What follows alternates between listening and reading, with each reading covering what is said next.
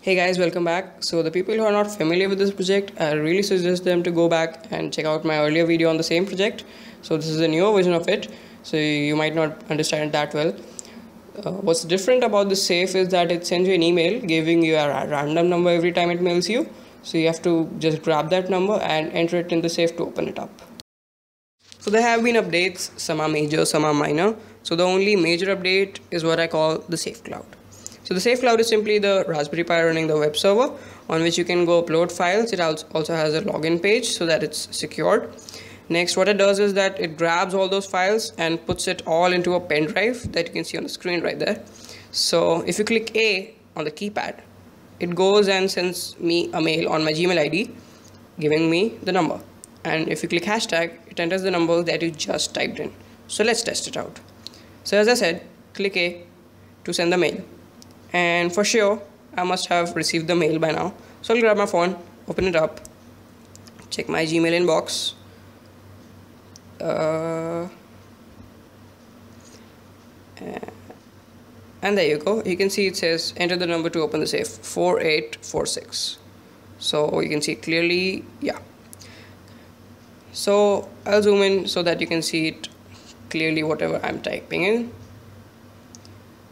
And I'll show you as I said 4 8 4 6 and I'll turn it around so that you can see the lock opening. So as I said first off I'll zoom out. Yep that, that, that's look, looking better. So as I said if you click hashtag it just pops up and you can see it's a little bit tweaky but it's fine. So there's there was the Arduino Mega that was sitting inside hiding in. And there's one more thing. In 20 second it locks itself back. So that's happening in 3 2 1 and there you go. It locks itself. Seems pretty cool huh?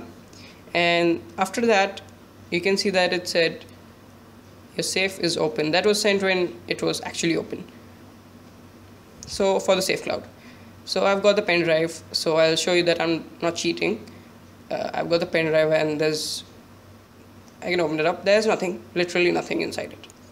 So I'll eject that and put it back into my safe cloud. That's what I call it. Running the web server. And the only problem is that I have to go and mount it for the first time but I'll make sure that works better until the next update. So as I said I'll grab my phone. As it's a web server what I can do is go to Chrome open up Chrome and in the URL I'll type in my Pi's IP address. And as it's running a server it shows me the page I made. So for the username it's done that's my name and the password is hello. I thought I'll keep it simple. So there's the upload page where you can choose a file upload it and also log out.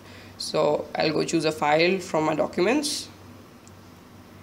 And I've got a wallpaper of Justin Maller he really makes them good. So I'll hit on upload. So that says last file uploaded Justin Maller wallpaper.jpg so that worked out well. Let's see if it just really happened. So I'll pull it out and I'll put it back into my laptop so that we can view the image. And it might take a while yeah. And as you can see it's exactly the same file that I have. So I didn't do any tinkering. As you can see the video was taken in one shot.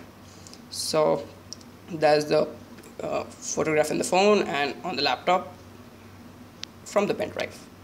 Hey guys, I'm and I'm the creator of Safest so it took a lot of hard work to finish it up about two months. So it all pays off at the end. So hope you guys enjoyed it. And I'd be happy if you'd appreciate that hard work by clicking the subscribe button. And I'll take down the earlier version of the same project so that you can see how it looked back two months ago. And I'm looking forward to start a tutorial series on PHP and Python. And I really suggest you to go check out Lucy. Uh, it's my other project. It's an AI type of not literally but it's good enough so that's all for now. Talk to you guys in the next one.